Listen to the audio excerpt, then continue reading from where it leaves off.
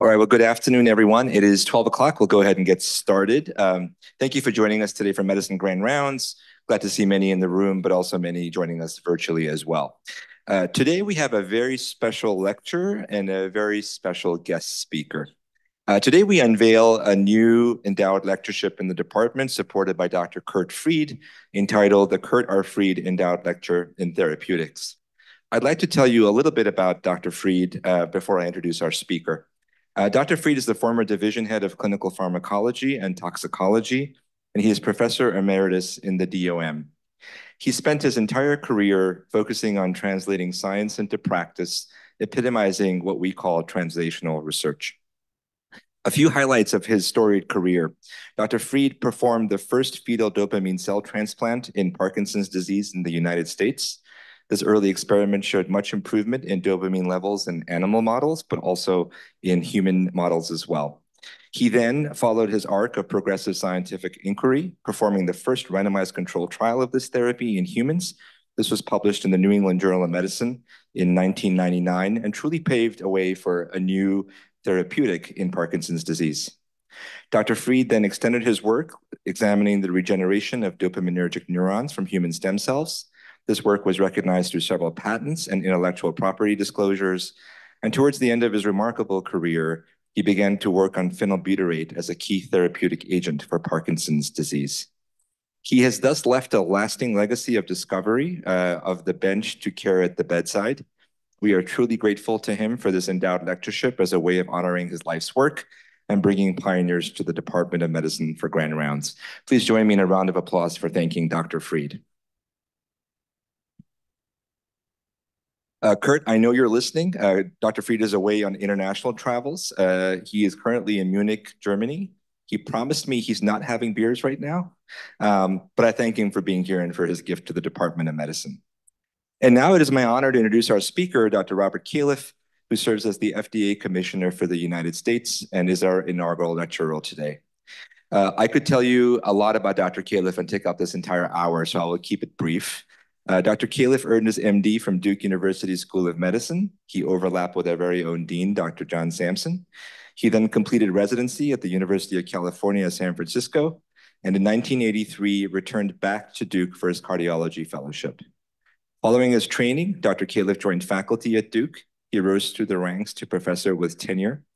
At Duke, he was recognized with many honors, including the Donald F. Fortin Professorship from 1999 to 2019. He was named Associate Vice Chancellor for Clinical Research from 1995 to 2006, Vice Chancellor for Clinical Research from 2006 to 2011, and then the Vice Chancellor for Clinical and Translational Research from 2012 to 2015, and the Vice Chancellor for Health Data Science. So a lot of leadership roles at Duke. Prior to joining the FDA in 2022, Dr. Califf also served as Head of Medical Strategy and a Senior Advisor at Alphabet, contributing to strategy and policy for Verily Health Sciences and for Google Health. We are in for a real treat today from someone who understands regulations, ethics, healthcare, quality, and safety from multiple dimensions. Please join me in welcoming Commissioner Califf.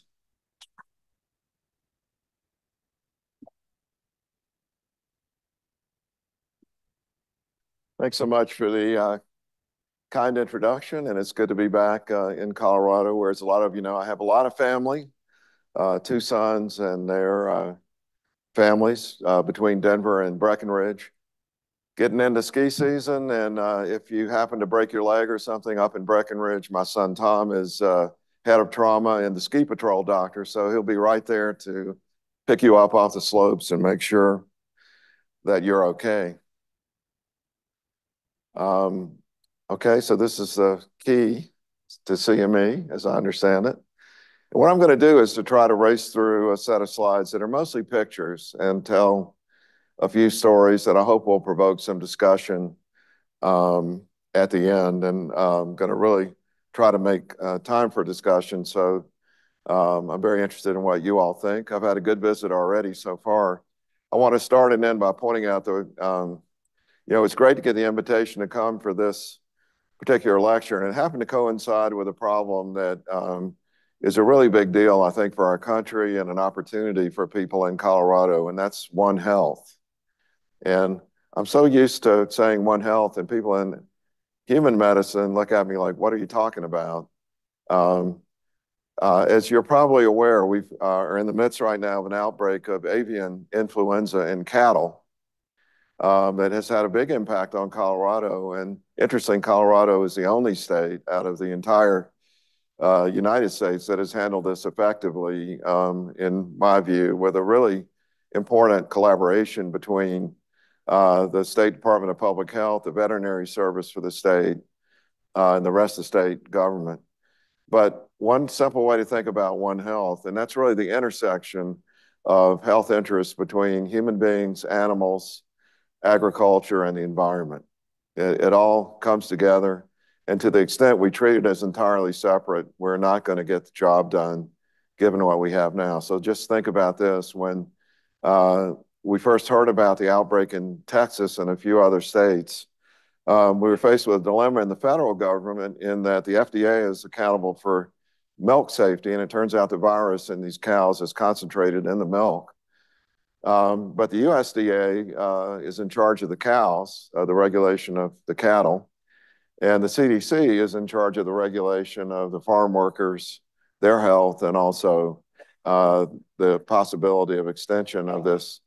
Uh, this particular virus has been on the top of the list of pandemic risks for a long time now, so it's something we're very concerned about. So get this to work at every level, we really need a collaboration across these different interests with different levels of accountability with their own, within their own silos, so to speak. Um, and you're in a great position because you have a tremendous veterinary school right up the road, the world's most uh, important diagnostic lab run by the CDC, also in Fort Collins, and of course, this tremendous uh, human uh, medical complex here. So I'll end just mentioning that again. But for the main part of today's talk. Here's sort of the bottom line if you want to sort of snooze through the rest.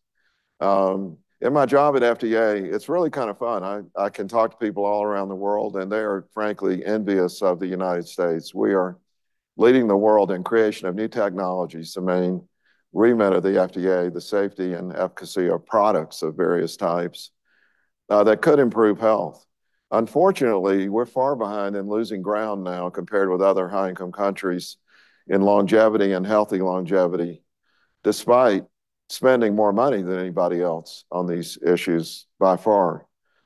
Now, we regulated FDA the products with some authority to also regulate how these products are used in particular situations when Congress gives the FDA authority. And by the way, I'm not vying to have authority over this. I'm just pointing out something that leads to the main point of the talk. You are responsible for the practice of medicine and public health in the U.S. It's largely self-regulated, it's fragmented, it's increasingly controlled by financialization of the system. And there's a, corollary in other parts of our remit that aren't directly uh, medical care related, the uh, food and tobacco, where the um, advent of very large industrial strength um, industries have an enormous impact on what happens with what we eat and how tobacco products are used there is a massive amount now of misinformation and loss of trust and confidence in all of our societal institutions, including you all, as I'll discuss. But your behavior and what you choose to do about it, um, I think is really the critical element here. Um, after all, you're here to find the truth and promote it. And we have a massive enterprise in the world and in this country, which is actively working um, against the concept that there's even such a thing as expertise. Um, uh, for those of you who have studied long and worked to get your degrees. All right, so quick, first here's a run through of the FDA mission. Um, we regulate about 20 cents to 25 cents of every dollar spent in the US in terms of the industries that are involved. Um, a large part of what we do is food. People tend to forget that the F in FDA is for food. We regulate 80% of the food supply. Simple way to think about it that Tom Vilsack, Secretary of Agriculture, taught me is that agriculture department regulates barnyard animals and catfish, and FDA regulates everything else that's in the food supply. Um, you might ask why catfish? It's because the catfish growers, they're mostly farmed got mad at the FDA and went to Congress and got a law passed moving catfish to the U.S. Department of Agriculture. Um, but we also regulate cosmetics, and we just have a new set of laws that give us some authorities in cosmetics. You may not think this is much of a medical issue, but um, the quiz is how many cosmetics does the average woman use in the United States per day? The answer is 12. How many cosmetics does the average man use in the US every day? The answer is six. But if you think about it, shampoo, deodorant, um, all sorts of things we put on our skin that are absorbed. And we're, there are some major public health problems related to things like formaldehyde in hair products and concerns about long-term cancer risk. We also have the Center for Veterinary Medicine, probably the most underappreciated part um, of the FDA. Uh, you think about uh, precision medicine in the human species, we have 3,000 species that we're accountable for, the drugs, devices, and um, other uh, products, and also the use of these animals as uh, food, which is something we share with the agriculture department. Drugs, you all know about.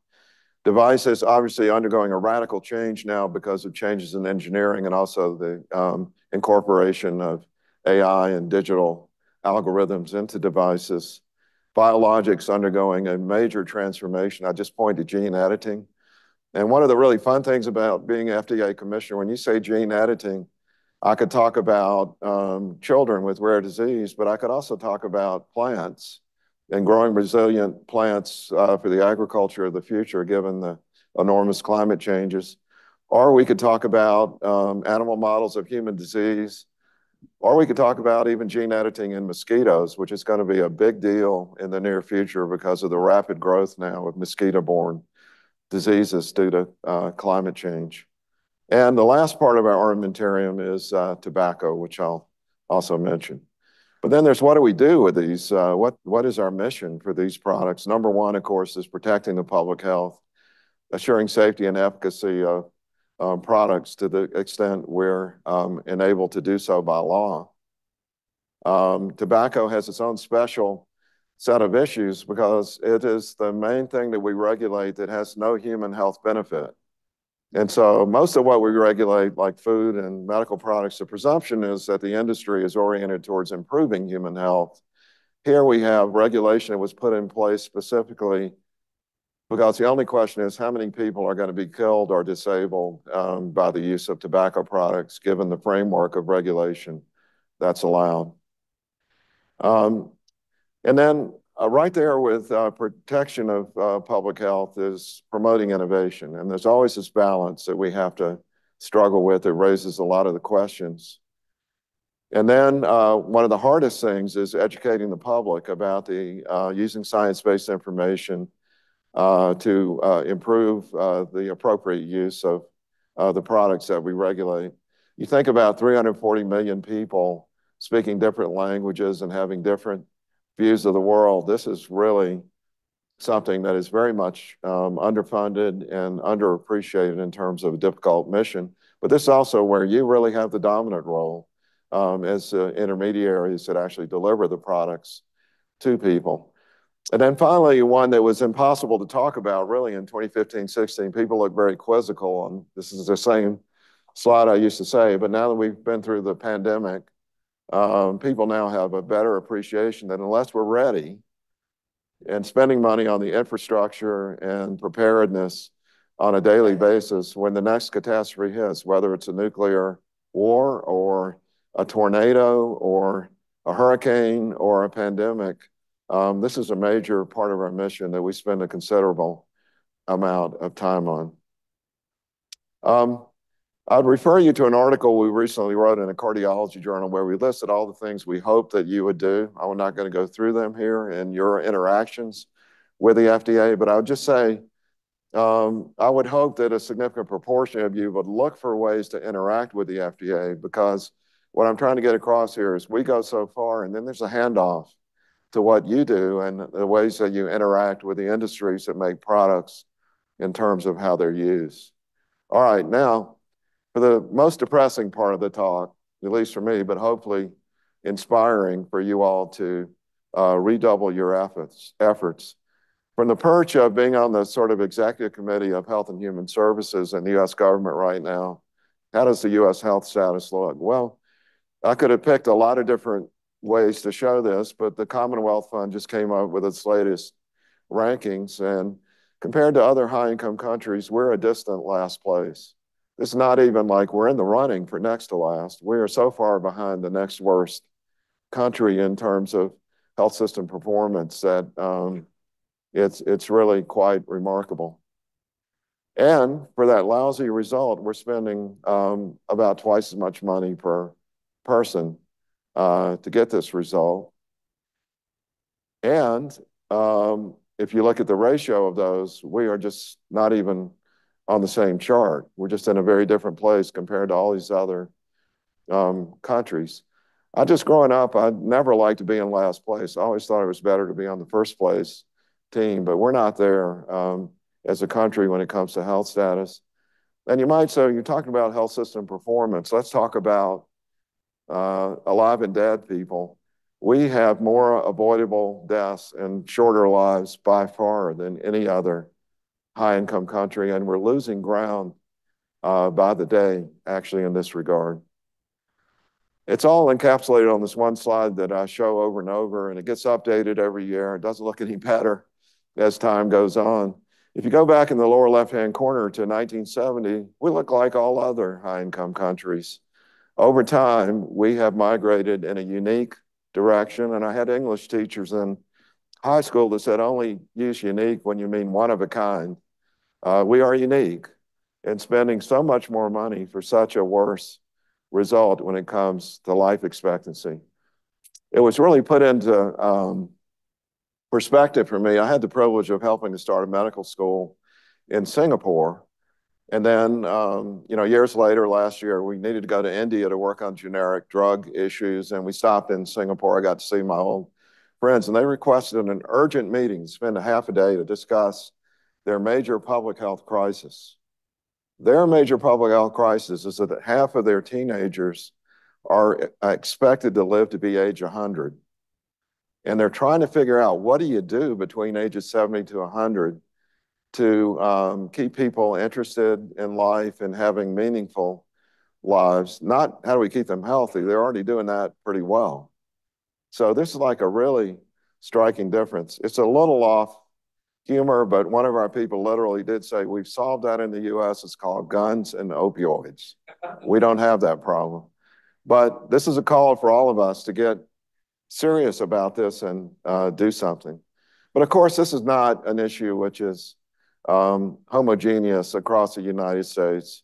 And this is just a slide to make the point that all of you know that what I call the traditional disparities are still very important in this country by race and ethnicity, that there is a, a big difference. And COVID um, had differential effects in different phases of the pandemic. But the net effect at the end of COVID was that we still have very significant differences in life expectancy as a function of race and ethnicity um, in this country.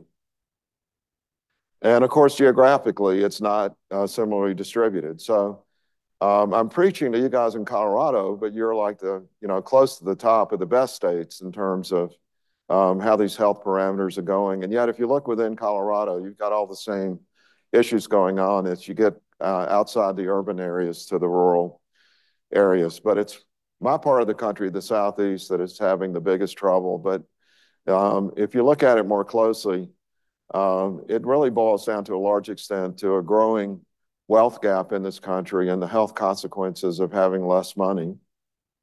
Um, and also um, looking at uh, rurality um, as an issue and what's just, you know, a huge difference in the likelihood of dying early um, if you're living in a rural area and have uh, poor financial status. And education has a lot to do with it. You could basically say just take Denver out of the equation and look at the rest of Colorado, and you'd see the same um, pattern. So um, the, the disparities that are really growing by leaps and bounds in this country, the old ones are still there and they need attention. The ones that are growing by leaps and bounds are living outside of a metropolitan area, having less wealth, and having a lower level of education. And I'm not here to talk about politics, but I probably don't have to tell you that these political issues and these social determinants have become deeply intertwined in our society, which makes it very difficult to figure out what to do in a public health sense. So I'm going to give you my list of things that I hope you'll uh, focus on. In addition, let me just say at the beginning, the number one job of uh, people that are uh, um, clinicians or scientists in a uh, medical center is to do a good job on your primary mission, taking good care of patients, discovering new things and applying those new things in translational research. So these are some things that I hope you'll, some of you will pay a lot of attention to in the interim. Uh, I hope you'll make combating misinformation and disinformation a priority at every level, the system as a whole, uh, the profession, um, and the individual level. What do I mean by this? Right now, we are inundated 24 by 7 in an uh, internet-based culture uh, with social media with a lot of misinformation, which is basically your next door neighbor or the person uh, in your social group that has an idea about something, something they believe and put out there, intending no harm. But there's also a growing amount of disinformation. That's purposeful misinformation with the intention of misleading or doing harm. And um, there are many, many examples of this. I'll say more about it in a minute. And then malinformation, which is also growing and in many respects has now become an international um, type of subliminal warfare that's going on where countries are, are actively trying to identify um, areas of disagreement within our society and then promoting ideas that promote more disagreement, regardless of which side it may be on. If you have spare time or if you need bedtime reading, I would urge you to read these three books. I'd highly recommend Francis Collins' book that just came out. Um, it has a somewhat religious trend because he's a person that tries to reconcile religion and science. And I, you know, i am personal friends with Francis. I think he does an amazing job of this. But the book is an easy read. It's an audio audio book. Uh, I'm not selling the book, but um, it's very contemporary about what's going on right now and some different ways to think about it. Peter Hotez, you probably know about, who's uh, um, a, an infectious disease person who's developed some very important vaccines, um, has a child who um, has autism and has had to um, personally defend the idea that vaccines do not cause autism, but also in the midst of the pandemic has come under tremendous fire by the misinformation crowd. And then the one I'm reading now, I'm not done with it yet, um, is by Harari called Nexus, and it's about the history of information networks. What happens um, when there's a sudden change in the basis for transmitting information to large numbers of people? Uh, things like the printing press, um, actually the development of going from telling stories to writing stories and writing. And um, the main point of it is, at least in his view, and I think he's probably right, historically, every time one of those major changes happens, there is a period of darkness where the bad guys went out for a long period of time. If you think about the printing press, that what a wonderful thing.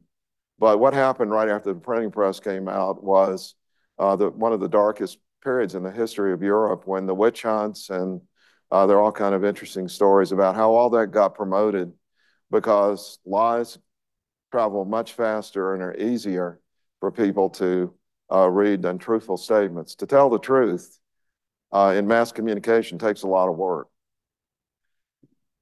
This is not new. So these are these are real advertisements that used to exist. There actually was snake oil sales and snake oil salesmen. They advertised, but if you think about it, they advertised in journals or newspapers they have very limited uh, distributions. Uh, that's obviously what's changed.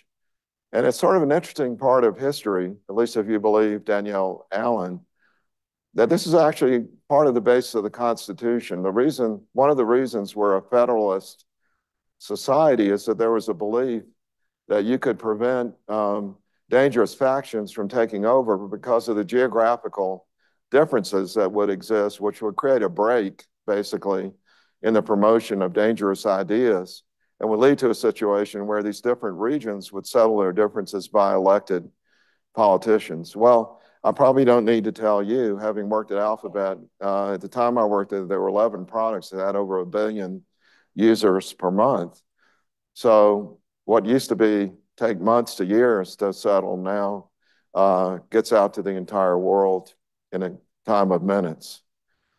Um, Renee DiResta, who spent a good part of her career studying this, um, had this good set of slides that uh, was used by the American Board of Internal Medicine that I thought really told the story in kind of a nice, simple way. As we went from uh, television and newspapers to zero cost publishing on the internet, the ability to consolidate audiences using algorithms and feedback, and then targeting people based on their characteristics to get particular messages to particular people, the world has changed. And this has produced network effects where we live within networks uh, that are segregated from each other by prior beliefs and reinforced by algorithms. And remembering that the, um, if an algorithm is just an artificial intelligence that is tuned to a metric. The metric for algorithms on the internet has been engagement. That is, how like how long does a person sit there looking at the screen? Because what that does is the amount of advertising that the internet company makes is directly proportional to how many people look at it for how long. So it's a very simple way to tune an algorithm. It doesn't have a soul, it doesn't have an intention, but the net effect of this is uh, the, re the reinforcement of things and what's now very well known, and it goes way back uh, to other forms of communication, but people get more engaged with negative information that creates an emotional response. So what are the algorithms going to do? If their only purpose is to increase engagement, they're going to fortify uh, the components of communication that have a negative effect. As I think about this at FDA, given recent court decisions, we are limited to truthful statements written in um, English on sheets of paper that show up on the internet. Compare that with what is being shown here in terms of what people are being uh, exposed to.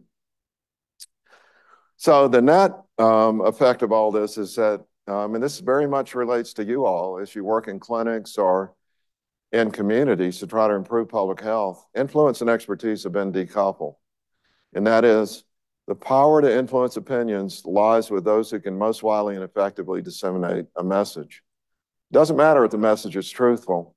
And it's very well shown that, um, as one famous person said fairly recently, you tell the same lie six times in a row, a very high proportion of people are going to come to believe that it's true. And so um, what used to be um, like Walter Cronkite on CBS is now a very fragmented set of communities that are separated from each other, um, self-reinforcing, where people who are attractive in this medium have sway over large parts of the people that you're seeing um, in your clinic. Well, the net effect of this, part of um, populism, and uh, Harari goes into this in some detail, a big part of populism is eroding confidence in expertise because expertise is built on the idea that we grow a body of knowledge that we agree upon as the truth. And that means that someone who's saying there is no, uh, that, that you should believe me, not the expert, has to really erode your confidence in that. And look at what's happened. This is the Gallup poll this year. Um, and notice at the bottom there, there's a big drop in confidence um, in the medical system that's currently um, occurring because uh, there's an active effort to have people believe that you are working for a, um, essentially a conspiracy, which is uh, pushing products and things on people which are um, not effective compared to alternatives that are being offered on the internet. Now, this is a spoof, but um, it, it actually has uh, uh, quite a bit of meaning in terms of what's actually occurring. So I like this statement, and this is from uh, um, most most of you uh, are too young to remember Paul Starr and his writing, but this I think says a lot, and I think it's very important for people at a place like this to absorb what it really means. What is the basis upon which a person shows up in your clinic or your intensive care unit and has confidence that you're going to try to do the right thing? Your basis for having authority. Um, is that their judgments and advice that are um, not idiosyncratic, but represent a community of shared standards. And this is something that if we don't actively reinforce that concept and what it means, and try to avoid doing things that erode this view by acting idiosyncratically or in a way which doesn't show faith to the well-being of the patient, what I would call professionalism. If we don't exude that, uh, this is likely to be a losing battle. All right, now a few other things. That was the biggest um, tranche. Um, we got to get back to the basics. So if you look at it from my perch of what we regulate, I, I'm a cardiologist. I love medical products. It's fantastic. But what's really at the basis of this bad health status that we have in the US is not that we don't have the next best stent. It's that people are eating the wrong thing, they're using too much tobacco, and they're not getting good primary care in this country. Um, there is, you should know, an effort that is underway to try to move the cheese a bit, to quit giving the specialists the lion's share of the money and get more of it into primary care. So if there's students listening, I hope you'll actually consider, I'm a cardiologist, I'm, I'm not, uh, I'm guilty, but um, let's just say we need people to go into primary care um, as a fundamental issue that's eroding our health status. A quick word about tobacco. Yes, we uh, have been successful compared to the peak when I started my career of just enormous numbers of young people dying from sudden death or cancer due to um, combustible tobacco. But we still have 30 million Americans using combustible tobacco today. And we have this onset of vaping um, issue, which is down this year, so I'm proud of that. But a number of societal issues related to what to do with vaping products. And I always use this um, old slide just to um, make the point that as much as we may think as professionals, that's an old topic and we've conquered it. We haven't. 500,000 Americans will die of tobacco-related illness this year. And in terms of my job, let me just point out that we have three major FDA actions which are on hold right now for a variety of reasons. One, prohibiting the use of menthol in tobacco products, uh, a, a product which has been targeted at Black people very purposely by the industry.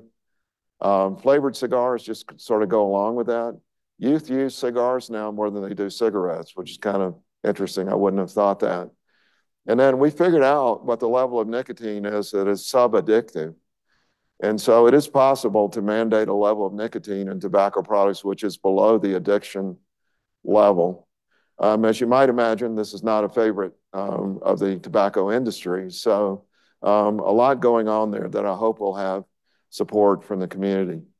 Now, just quickly, diet. And, you know, in One Health, going to Colorado State and seeing the extent of the agriculture there, I was at Cornell also. We started making a tour because we need to shore up the degree to which the traditional medical and public health communities are interacting with the agriculture and animal communities. We're just all interrelated by a whole variety of bacteria and viruses and we eat each other. I guess we eat animals more than vice versa, but um, mosquitoes bite both of us and transmit um, diseases in a really complicated ecosystem. But on the food side, Americans are just eating bad diets. Um, almost the vast majority of people are exceeding the limit for sugars, for saturated fat, um, and sodium. And remember that almost all the sodium is not from the salt shaker on the table, it's what's baked in to processed food.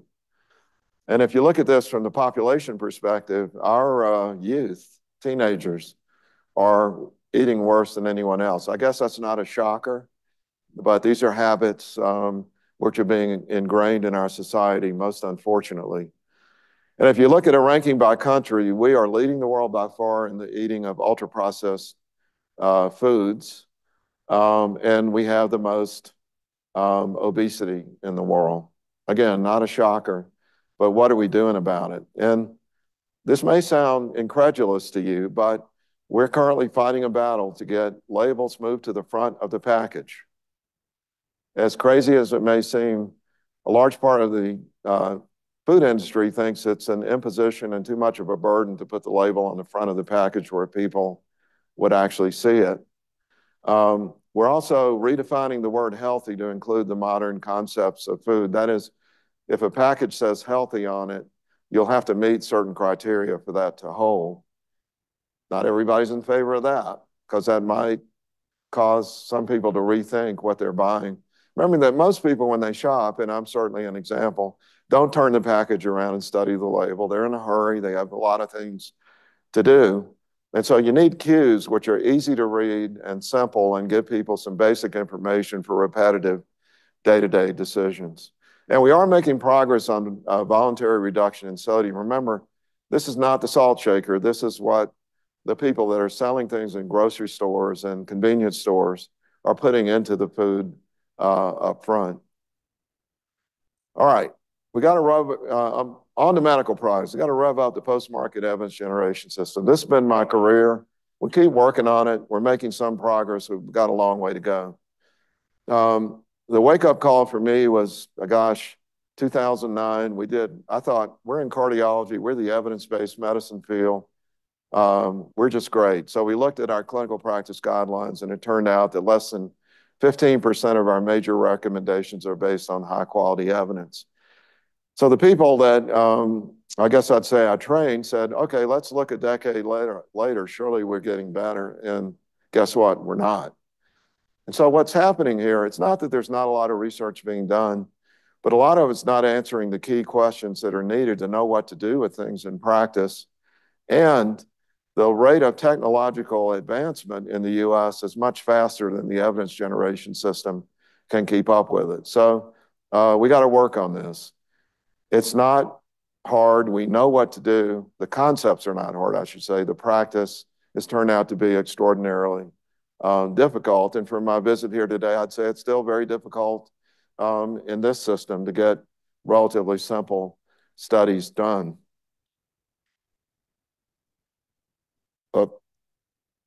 I'll, I'll skip a slide there and, and just make the point that uh, for the most part, um, what happens pre-market is pretty much controlled by the FDA. So I take accountability for that. There's a law that says you can't put a medical product on the market unless the benefits outweigh the risks. But the key thing to know is that pertains to one indication in one population. That's all you have to show. We have no authority to require studies beyond that that answer all the questions that are still on the table at that point, like uh, which product is better? Um, how long should you give it? How do you combine treatments? What is actually the best dose? You don't have to have the best dose. You have to have a dose that works um, in a in a pivotal uh, clinical trial, and that's an area where there is no one uh, we in control. Uh, we all have a stake in this, and I would argue you have the biggest stake because you're the ones that are applying these products, often in the absence of good knowledge about actually how they should be used and what should get preference in the system. Of course, we have this major advance now that everyone has electronic health records. This was a dream when I started out. It's getting better and better. It's no longer a technological issue to capture the data from electronic health records and claims data. What is an issue is the culture that we live in that leads to extraordinary hoarding of information and blocking of the sharing of data that's essential for reasons that I'll go into. So what we're very much hoping for at the FDA is a system where we go from a, situation where before a product is on the market, we have these rigorous clinical trials, and then it's a free-for-all. With occasional studies done, we do have authority if a safety problem is identified um, or if it's an accelerated approval, that we can require a follow-on study. But we need to go, oops, let's see if I can make this go back. Nope.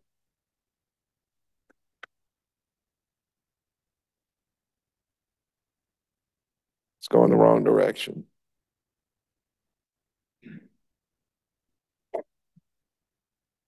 Darn. Let's see. Yeah, it goes forward no matter what, which button I push. So we can finish this lecture quickly.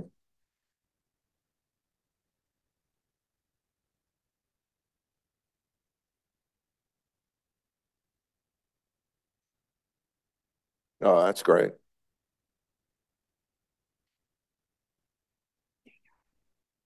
All right. Thank you.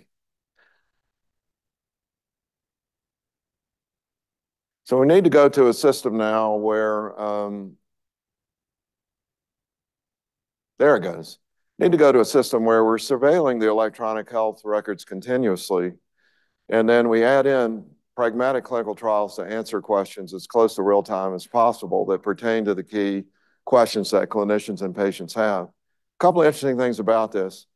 Um, knowing what happened when we recommended um, updated COVID vaccines was impossible in the US because of the um, data blocking and inability to share data. Even the CDC has to reach agreements with every single state and jurisdiction in order to harvest the data. All I had to do was just call Israel. They had the data in real time because all their electronic health records are combined into a constant ongoing view of what's happening to the entire population with regard to medical products. And the other point I would make is that um, uh, the IRA, the Inflation Reduction Act, is now requiring Medicare, CMS, to negotiate with pharma companies um, on the price of drugs once they reach a certain point and they're in a certain category. Well, now for the first time, CMS has a direct interest in this post-market space of doing good studies to get the evidence they need to figure out what the price of a drug uh, should actually be. So this is going to be a big incentive for industry to, um, instead of using marketing and selecting trials just based on whether it um, add, adds to the uh, value of a product as an asset, to actually get involved in doing the kinds of studies that can be accepted by the government is justifying the cost of a drug. So a big area for you all to work on. Now, my one plea, which I've told everybody here, please fix the supply chain. It's ruining my life at the FDA. I did not become FDA commissioner to try to figure out where normal saline and D5W is hanging out in the system. So here's the basics, just for you to know. We have hundreds of generic drug shortages a year. The lower the price, the greater the likelihood of a shortage.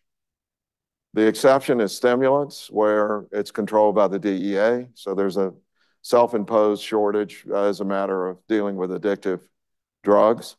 And anti-obesity me medicines, where for the first time in history, as far as I know, there's an enormously profitable drug where the industry just can't make enough to satisfy the demand. That will eventually solve itself. You can guarantee if there's a buck to be made um, in the industry, they're going to figure out how to make the drug. But the big issue is the generic drugs, where if there's not a significant pro profit, the companies don't want to be involved in making the product. That's not hard to understand, I don't think. Um, the key starting materials, which are petrochemicals for all of our drugs, are coming from China now. And that you all know what NIMBY means, uh, not in my backyard. And the reason for this is not just lower price. People don't want petrochemical plants in their backyard in the United States. We got to fix this. There's another term, banana. I can't remember what it stands for, but it's more complicated that relates to this. Um, most, uh, the largest proportion of our generic drugs are made in India. I'm all for that because there's 7.6 billion people who don't live in the United States that need high quality generic drugs, but we need to deal with this. Uh, our PPE, remember when we invested in bringing it back to the US? It's all gone back to China now. Um, we are uh, only have one company left in the U.S. that makes syringes and stopcocks. All the rest is uh, made in China. And um, we had one plant go down and we were out of IV fluids for the entire country. Not a great way to run a system. Well, um, we have a white paper on this from Health and Human Services, and I just want to make one quick point. I think the major culprit in this is you guys. Um, you have heavily rewarded your supply chain people to get lower prices, regardless of the quality or the resilience of the system. And they're doing exactly what they're being told to do. Now, it gets laundered through this whole set of intermediaries here um, who are not regulated by anybody, who work on behalf of you guys to get those lower prices. And the manufacturers out here, mostly in India, are saying, even in India now, for a lot of these, we can't make the product at the price that you're uh, commanding.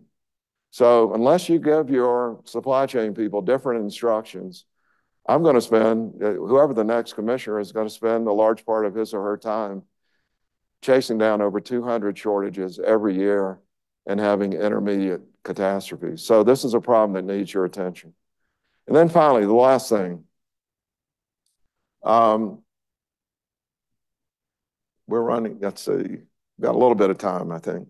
The last thing um, to focus on AI, which everybody wants to talk about. I love AI. I worked at Alphabet. I got to see all this happening. It was a lot of fun.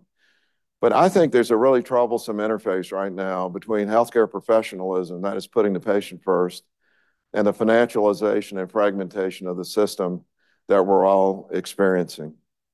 Now, some of you are too young to remember what this is. It's called a library, and it used to be where you went for information. You had to look it up one journal, and the great resident could make a knew where the Xerox machine was to make a copy of the article for everyone. It's now been replaced by um, this, which um, is moving very rapidly, and I'm radically enthusiastic about what it could potentially do. I mean, imagine your clinic visits without having to, uh, you could look at the patient and examine the patient instead of typing into a computer or uh, hunting and uh, clicking. And, but it not only does that, the ability to retrieve the world's entire information at one time has this amazing opportunity to help you make better decisions as you're talking um, with people. But the question is, the existential question, I think, is um, this should reduce your clinic visits time by 50%. And the question is, what's going to happen to that extra time? Are you going to be told to see twice as many patients?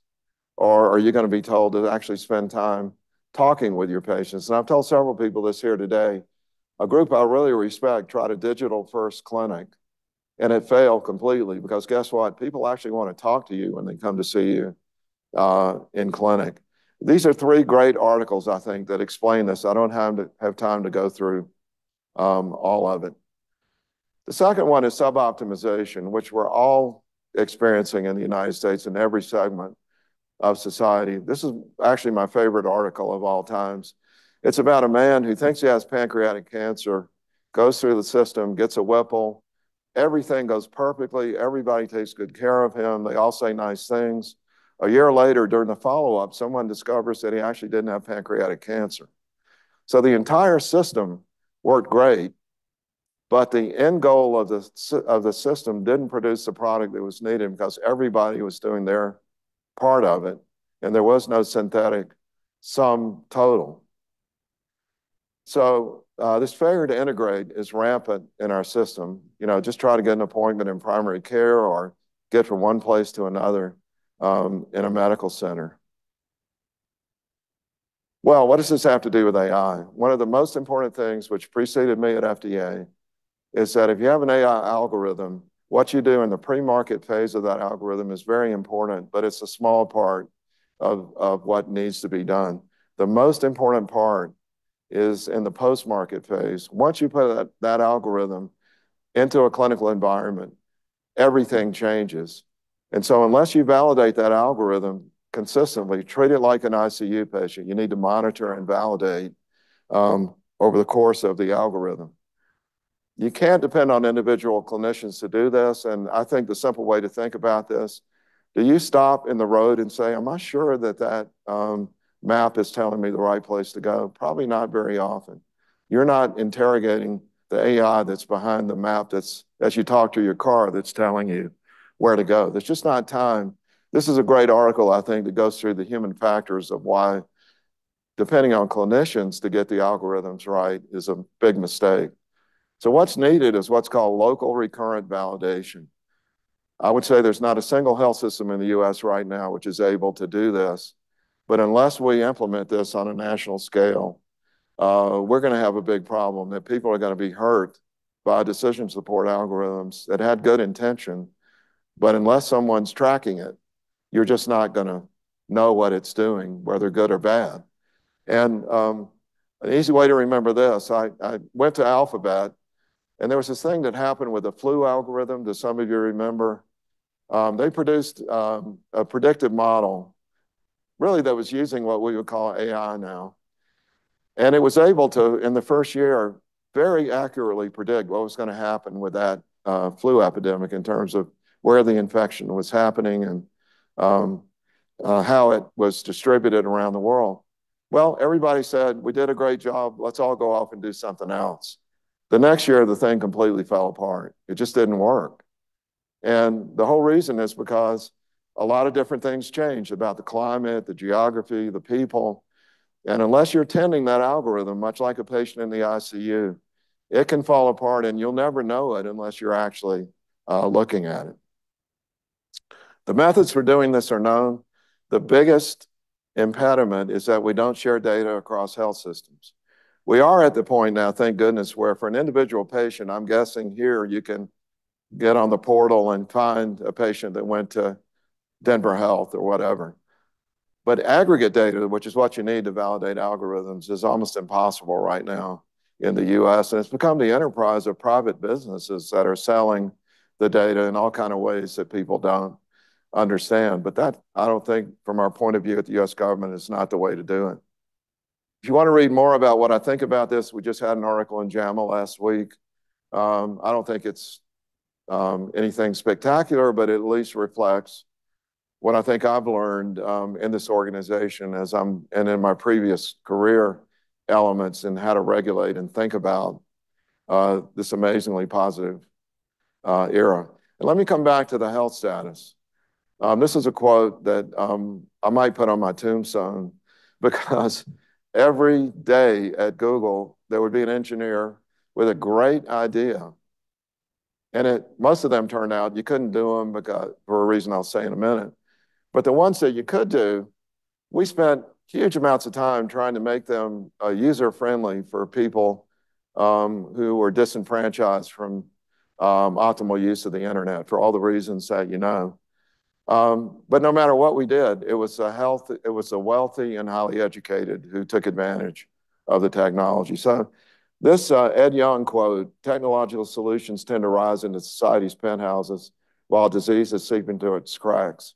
I think is a very fundamental property of digital technology that unless you have a conscious in, intention to fix it, it will not get fixed and it will exacerbate um, the disparities that we currently see. And I think that's what's happening right now to a large extent in our society. So our little effort to try to help this at the FDA, a way to think about this was the glass cockpit um, project. In the 1960s, every time an engineer, and I have a son who's a, who's a space physics PhD from Boulder, so he works on this kind of thing. Every time you could measure something new, it would just get put in a gauge and stuck in the cockpit somewhere. And pretty soon the pilots are saying, we can't fly the planes because we're not sure what to look at of all the stuff that's in the cockpit.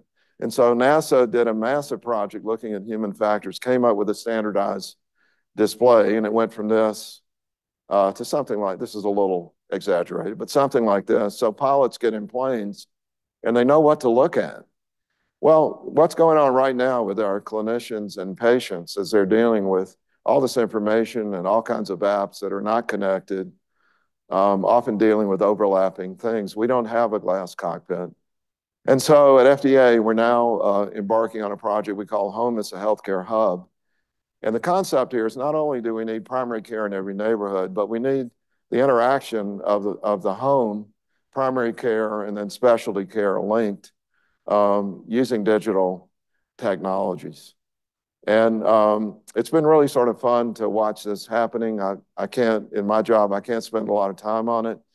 But the industry is very much interested in it because now this brings all the technology that might be spent on the next great gadget for gadget for high tech um, medicine to the masses of American people who need help just to stay at home and uh, try to improve uh, their health. And so the idea is we're bringing architects and all kinds of other people to create what we hope it will not be a federal government dashboard, but sort of a method of bringing the industry together to create places where this technology can be brought together in a way in which a human being can interact with it and make uh, sense of it in a helpful way. So I think the summary of the digital part of this is we're at a uh, crossroads right now where we can either use digital technology to make our disparities worse or we can use it to improve them. It's up to us uh, to try to make this happen. or as put by Steve Steinhubl, who um, is a colleague who was a, believe it or not, was a chemical engineer at Kodak in the last days of um, old-fashioned uh, photography and saw it completely go away. Um, the question is out about what this digital technology is going to do to the current. And, and you'll notice that most industries have been entirely disrupted or replaced. I don't think that's going to happen in healthcare, but um, it's in the mix right now about how this is going to happen. So back to the bottom line. Um, we're way ahead of other countries in innovation and new technologies. We're behind our economic peers in the use of this technology um, to help people. I don't think it's mostly an FDA problem. I think it's mostly your problem. Um, I'll be back among you at some point. My, uh, I'm a political appointee, so my term ends. Um, and I think these, these uh, issues of fragmentation and financialization, where in essence you become an object of a financial spreadsheet whose goal is to optimize the profit of the system, um, unless you get into that equation, a dependent variable that says better patient outcomes and better lives for the clinicians, um, the, the direction of this is very uh, clear to me. Um, and misinformation is eroding uh, the entire system. You might think I'm pessimistic. I'm actually not. These things are self-correcting over time. I would just like it to be corrected for my kids and grandkids, not for several uh, generations later. So I'll stop there. I'm glad to uh, take any questions or disagreements that you may have. Uh, thank you, Dr. Califf. A, a thought-provoking, sobering uh, discussion. Uh, we'll open it up for questions. We have a few minutes. The audience has a hand over there, Dr. Jolly.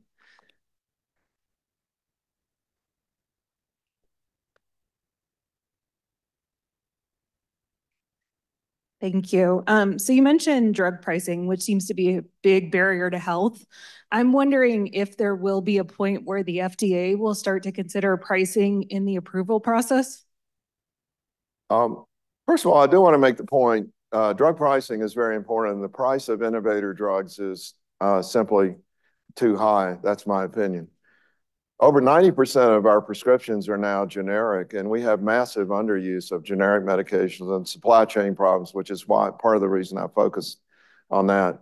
For FDA to consider price, Congress would have to pass a law. It's illegal for us to consider price right now in our statute. It's safety and effectiveness is our mandate. I would throw the question back to you. Um, ultimately, these drugs are being sold to you guys. So um, why don't you demand lower prices? Now, the intermediate between that contentious statement is the IRA is telling CMS now for the first time in history to negotiate uh, prices of a limited number of drugs. Um, I I love the, the innovator drug industry in terms of the creativity and these products that have amazing effects. Um, but I don't think Americans should be the ones who are paying all the freight for the rest of the world to get access uh, to these drugs. So that's at least the way I look at it. But we would have to have a law passed for us to consider price. Other questions, Dr. Califf? Rob, maybe I'll ask you a question. You mentioned data and um, EHRs and learning health systems and how we can truly validate what we think is real in a control setting. Who who regulates that aspect of data sharing at the EHR levels? To me, it seems like data is power, and locking it up is sort of their the mo in many ways for companies to stay profitable. Is there um is there a, a path forward to have that be more democratic and perhaps allow us to do some of the validation work? Yeah, so the law says that the record belongs to the um, patient, not to the system. And there are now uh, the Office of the National Coordinator for Health Information Technology, um, based on the law that says that, now with penalties for people who block data, uh, a set of penalties are now being put in place, and there will be some exemplars for that, um, that uh, issue. There are a whole set of other related issues in how you organize the data to make it useful when it's shared. And we're also working on that. There's a really fundamental issue of just extracting the data mm-hmm. and the terms that are used in the EHR and there's a big effort um, uh, at the Office of the National Coordinator um, to at least take a, we all have um, age, sex, race, um, blood, you know, vitals, drugs. Those are mostly codified already. So we just need, uh, that's going to become a requirement that you collect that in a uniform way. Um, so I, I think it's underway. It's just going to take a while. And as I said, we got the shadow industry right now, which is buying data from people like you all and then selling it back yeah. when it really ought to be just um, data that's available to make healthcare better. One last question from Dr. Zimmer. Thanks so much for your talk. Um, you didn't mention herbal medications or those over-the-counter um, type of supplements. Um, where do those fall right now in terms of regulation? I just recently noticed my teenager had purchased on his own something to help him grow taller. Um, and I wondered about the health um, regulation of those products. Um, I don't, I don't want to sound like I'm um, skirting the issue, but let's separate things. Over-the-counter drugs actually are very highly regulated. So if it's a drug and the advertisement says to diagnose or treat a human disease, that's very highly regulated. You actually have to prove in clinical studies that a consumer can make a reasonably intelligent decision based on that information, as opposed to having an intermediary prescriber, a doctor or a nurse practitioner. Dietary supplements are regulated by a law called DSHEA, which was passed a long time ago that prohibits the FDA from requiring evidence of efficacy and also, there's no requirement that the manufacturers list all the ingredients that are in their supplements. We can only react if someone reports problems. So this, um, I think, is a big issue. Um, I have a whole solution to this, but Congress would have to act. Two other things I want to mention. One, there's a whole set of things now that just, I call them gas station drugs. These are not dietary supplements. They're um, sub-addictive or addictive substances like kratom. Um, there's a law that uh, set, passed to help the farmers, mostly in the Southeast, to replace tobacco about hemp. But leave it to America. People have figured out how to take hemp, which by law is at a level of THC ingredient that's not um, doesn't cause um, psychological changes. But guess what? You can manipulate hemp and get highly concentrated other um, cannabinoid products, which do affect that. These are being, if you go to a gas station in the Southeast, you'll see all these products proudly on display. So that's another issue. And then finally, I, I don't want to end with this one, but I have to mention, if you want to know the direction of dietary supplements, look at RFK Jr.'s tweets over the weekend. And you can make your own decision as to what you think about that. Dr. Califf, thank you for an inspiring talk.